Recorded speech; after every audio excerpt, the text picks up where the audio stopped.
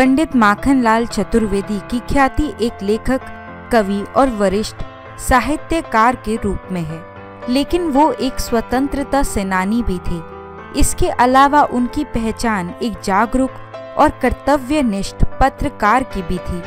इस वजह से ही उनके नाम पर पत्रकारिता को समर्पित एशिया की पहली university, Makhanlal Chaturvedi national university of journalism and communication का नाम रखा गया है। माखनलाल पंडित जी के नाम से भी विख्यात हैं। माखनलाल चतुर्वेदी को ब्रिटिश राज के दौरान स्वतंत्रता के लिए चलने वाले विभिन्न आंदोलनों में दिए योगदान के कारण भी याद किया जाता है। इसके अलावा उनकी रचनाएँ, पुष्प की अभिलाषा और हीम तरिंगिनी आज भी उतनी ही प्रसिद्ध है जितनी उस समय थी।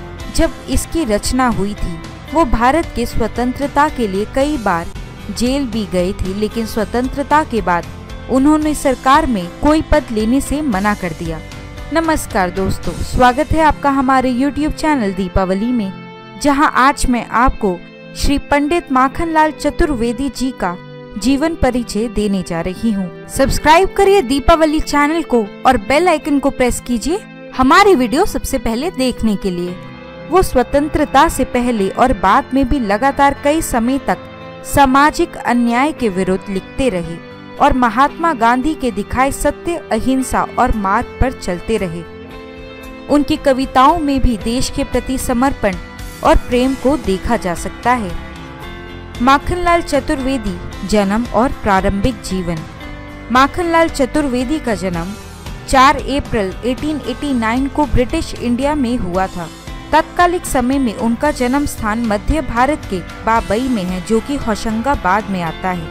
माखनलाल चतुर्वेदी के जन्म के समय भारत पर अंग्रेज़ों का शासन था, एवं तब स्वाधीनता के लिए संघर्ष चल रहा था। और माखनलाल जी को ये समझ आते ही कि देश की प्रगति के लिए स्वतंत्रता बहुत आवश्यक है, देश हित में कार्य करना शुरू कर दिया। माखनलाल जब 16 वर्ष के हुए, तब ही स्कूल में अध्यापक बन गए थे। उन्होंने 1906 से 1910 तक एक विद्यालय में अध्यापन का कार्य किया, लेकिन जल्द ही माखनलाल ने अपने जीवन और लेखन कौशल का उपयोग देश की स्वतंत्रता के लिए करने का निर्णय ले लिया। उन्होंने असहयोग आंदोलन और भारत छोड़ो आंदोलन जैसी कई गतिविधियों में भाग लिया। इसी क्रम में वो कई बार जेल भी गए और जेल में कई अत्याचार भी सहन किए। लेकिन अंग्रेज़ उन्हें कभी अपने मार्ग से विचलित नहीं कर सके। माखनलाल चतुर्वेदी का करियर। 1910 में अध्यापन का कार्य छोड़ने के बाद माखनलाल राष्ट्रीय पत्रिकाओं में संपादक का काम करने लगे। उन्होंने प्रभा और करमवीर नाम की राष्ट्रीय पत्रिकाओं में संपादन का काम किया। माखनलाल ने अपनी लेखन शैली से देश के एक बहुत बड़े वर्ग में देश प्रेम भाव को जागृत किया। उनके भाषण भी उनके लेखों की तरह ही ओजस्वी और देश प्रेम से ओतप्रोत होते थे। उन्होंने 1943 में अखिल भारतीय साहित्य सम्मेलन की अध्यक्षता की। उनकी कई रचनाएँ तब देश के युवाओं में जोश भरने और उन्हें जागृत करने के लिए बहुत सहायक सिद्ध हुई। माखनलाल की लेखन शैली नव छायावाद का एक नया आयाम स्थापित करने वाली थी। जिनमें भी चतुर्वेदी की कुछ रचनाएँ हिम तरंगिनी कैसा चाँद बना देती है, अमर राष्ट्र और पुष्प की अभिलाषा तो हिंदी साहित्य में सदियों तक अमर रहने वाली रचनाएँ हैं और कई युगों तक ये आम जन को प्रेरित करती रहेंगी। माखनलाल चतुर्वेदी अवार्ड्स और उनको मिले सम्मान। माखनलाल 1955 में साहित्य अकादमी का अवार्ड जीतने वाले पहले व्यक्ति हैं। हिंदी साहित्य में अभूतपूर्व योगदान देने के कारण ही पंडित जी को उन्नीस सौ उनचास में सागर यूनिवर्सिटी से डी लिट की उपाधि भी प्रदान की गई। उन्नीस सौ तिरासी में माखनलाल चतुर्वेदी को साहित्य और शिक्षा के क्षेत्र में अपूर्व योगदान के कारण पद्म भूषण से भी सम्मानित किया गया। माखनलाल चतुर्वेदी का हिंदी साहित्य को योगदान। माखनलाल की कुछ प्रमुख कालजयी रचनाएँ हैं। हिम तरंगिनी समर्पण, हिम कीर्तनी युग चरण साहित्य देवता दीप से दीप जले, कैसे चाँद बना देती है।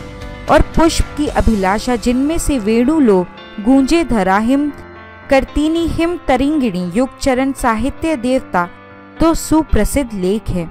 इसके अलावा कुछ कविताएँ जैसे अमर राष्ट्र, अंजलि के फूल गिरे जाते हैं। आज नयन के बंगले में इस तरह ढक्कन लगाया रात ने। उस प्रभात तू बात न माने किरणों की शाला बंद हो गई। छुप छुप। कच कुटीरी, यमुना तीरे। गाली में गरिमा घोल घोल। भाई छोड़ो नहीं मुझे। मधुर मधुर कुछ गा दो मालिक। संध्या के बस दो बोल सुहाने लगते हैं।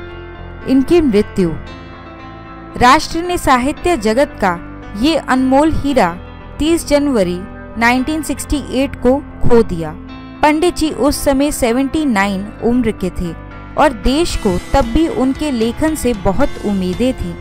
इनकी धरोहर।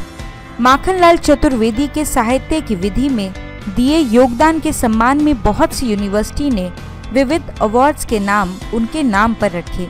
मध्य प्रदेश सांस्कृतिक काउंसिल द्वारा नियंत्रित मध्य प्रदेश साहित्य अकेडमी देश की किसी भी भाषा में योग्य कवियों को माखनलाल चतुर्वेदी पुरस्कार देती है। पंडित जी के देहांत के 19 वर्ष बाद यानी 1987 से ये सम्मान देना शुरू हुआ था।